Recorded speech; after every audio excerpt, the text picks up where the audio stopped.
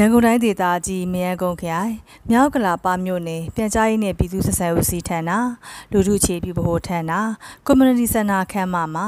ယမနေ့နေ့လယ်17နာရီက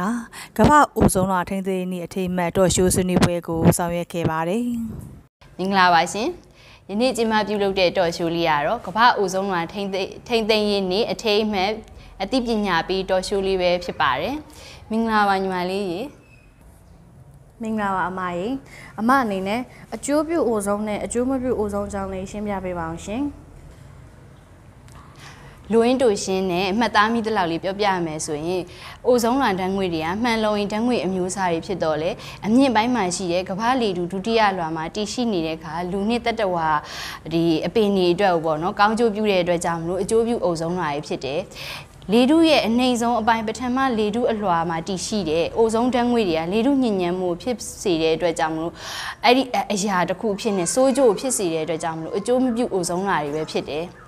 ညီမလေးနေနေပေါ့နော်အိုဆုံးလာပျက်စီးရခြင်းအကြောင်းရင်းကိုလည်းနည်းနည်းလောက်ပြောပြပေးပါလားဟုတ်ကဲ့ပါမိုင်း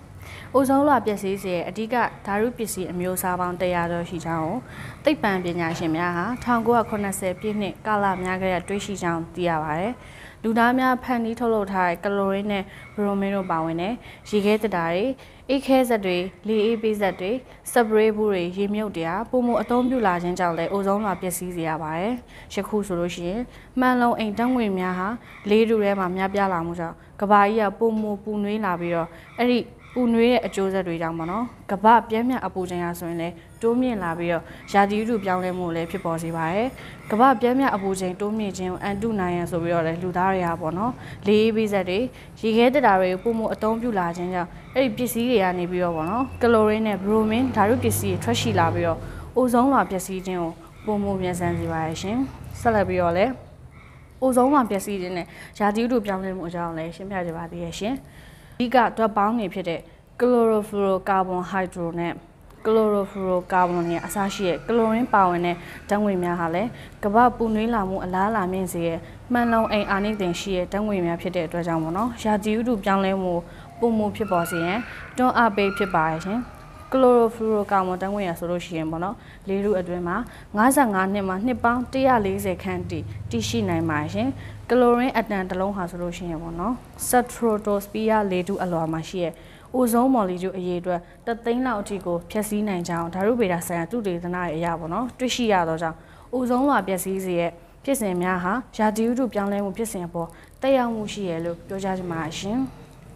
အမရေကမ္ဘာအိုဇုံးလွှာထိန်းသိမ်းနေဖြစ်ပေါ်လာဖို့အကြောင်းလည်းရှင်းပြပေးပါအောင်ရှင် ကမ္ဘာကုလသမဂ္ဂအနေနဲ့အိုဇုံးလွှာလူသားအလုံးအတွက်တာမကလက်ရှိကမ္ဘာဂျိုဟာတက်ရှိကမ္ဘာဂျိုအဖြစ်ဆက်လက်တည်တံ့နိုင်ရေးအတွက်အရေးကြီးသောကြောင့်1994ခုနှစ်ဒီဇင်ဘာလ19ရက်နေ့မှာကျင်းပတယ်49ကြိမ်မြောက်ကုလသမဂ္ဂအထွေထွေညီလာခံကြီးမှာမွန်ထရီရဲ့နောက်ဆက်တွဲစာချုပ်မှာလက်မှတ်ရေးထိုးတဲ့စက်တင်ဘာလ16ရက်နေ့ကိုအပြည်ပြည်ဆိုင်ရာအိုဇုံးလွှာထိန်းသိမ်းရေးနေ့အဖြစ်သတ်မှတ်ခဲ့တယ်အပြည်ပြည်ဆိုင်ရာအိုဇုံးလွှာထိန်းသိမ်းရေးနေ့အထိမ်းအမှတ်အခမ်းအနားတွေနဲ့လှုပ်ရှားမှုတွေကိုမွန်ထရီရဲ့နောက်ဆက်တွဲစာချုပ်အဖွဲ့ဝင်နိုင်ငံတွေမှာ1995ခုနှစ်မှာစပြီးတော့ပြုလုပ်ခဲ့ကြတယ်တဲ့2018ခုနှစ်ကစပြီးတော့အပြည်ပြည်ဆိုင်ရာအိုဇုံးလွှာထိန်းသိမ်းရေးနေ့အစားကမ္ဘာအိုဇုံးလွှာထိန်းသိမ်းရေးနေ့အဖြစ်သတ်မှတ်ပြီးတော့အထိမ်းအမှတ်ခမ်းနားတွေကျင်းပခဲ့ကြတယ်နှစ်စဉ်ကျင်းပတဲ့အပြင်ကိုအသိပညာပေးလူထုလှုပ်ရှားမှုတွေလည်းစီစဉ်ဆောင်ရွက်လျက်ရှိတယ်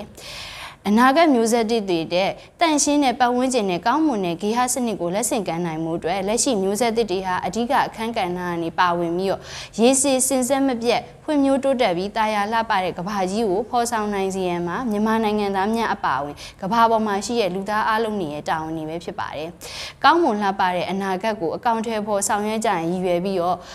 စက်တင်ဘာလ16ရက်နေ့မှာကြာရောက်မယ်ကမ္ဘာအိုဇုံးလွှာထိန်းသိမ်းရေးနေ့ကိုဂုဏ်ပြုလိုက်ပါတယ်ရှင်။ ယခုတော်ရှိုးဆွေးနွေးပွဲဟာမြောက်ကလာပါမြို့နယ်ပြန်ကြားရေးနယ်ပြည်သူ့ဆက်ဆံရေးဦးစီးဌာနမှမမြဝင်းပြဆက်ကပေးပို့ထားတာဖြစ်ပါတယ်။